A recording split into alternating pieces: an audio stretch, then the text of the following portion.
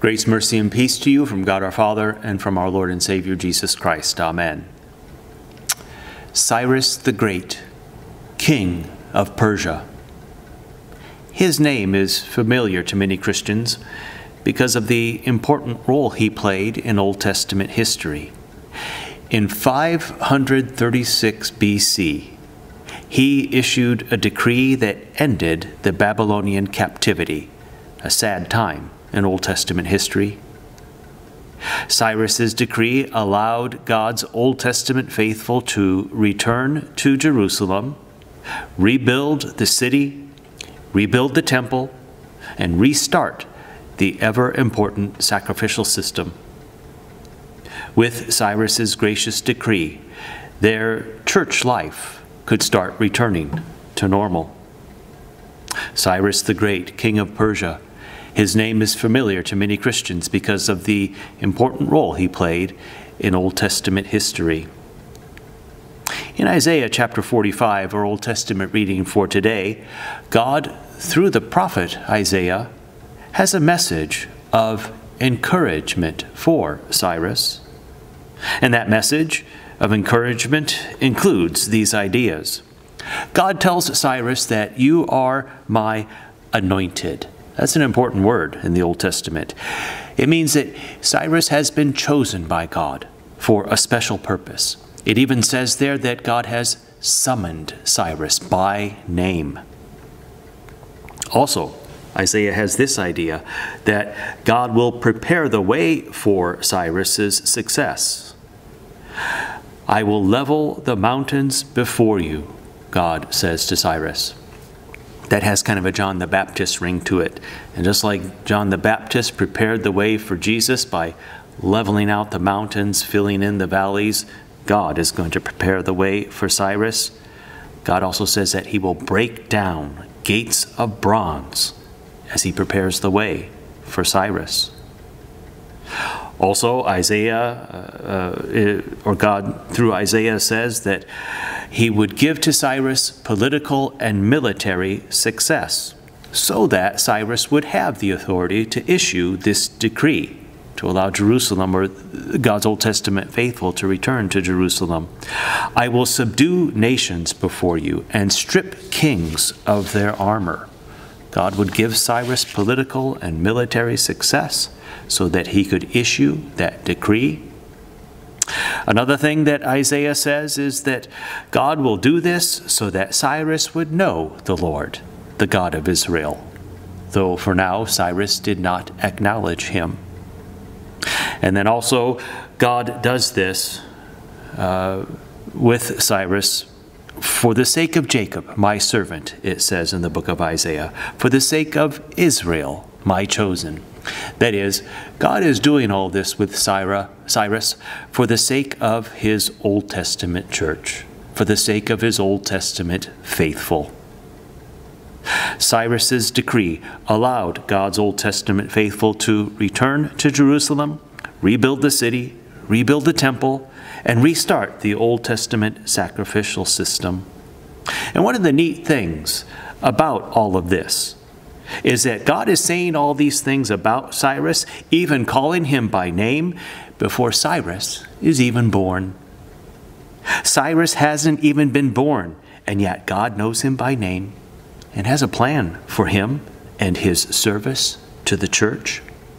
In fact, the Babylonian captivity, that sad time in Old Testament history which Cyrus will bring to an end, it hasn't even started yet. And God has in place already a plan for its ending for the sake of his church. Well, among other things, our Old Testament reading is a reminder that God sees a bigger picture than we do. For the sake of his church, he's thinking two, three, four, maybe a hundred steps ahead of us.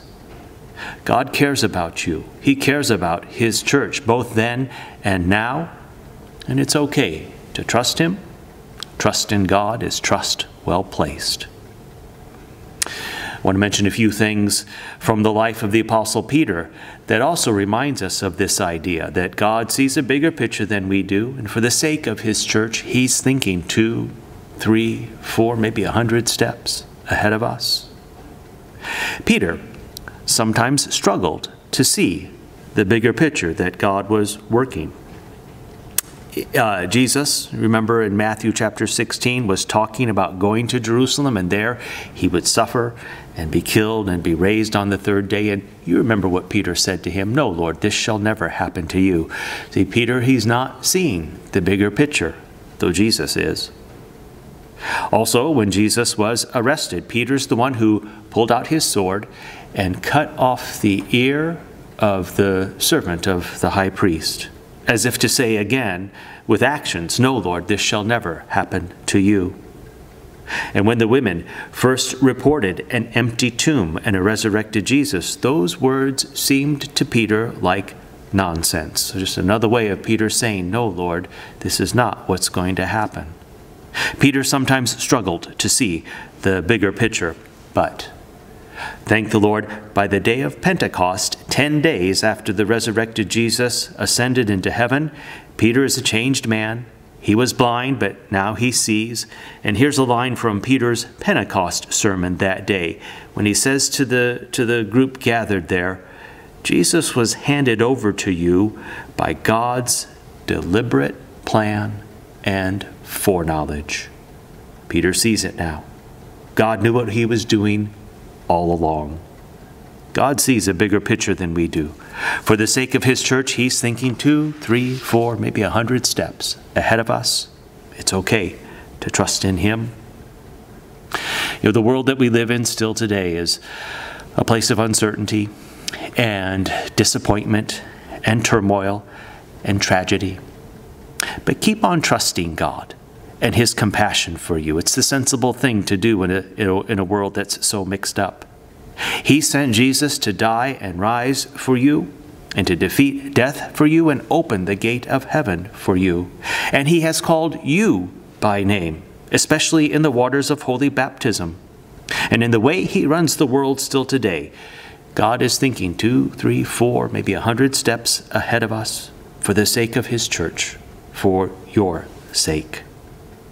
So keep on repenting of your sins, confessing your sins to God, and uh, being forgiven by Him every day is not too often.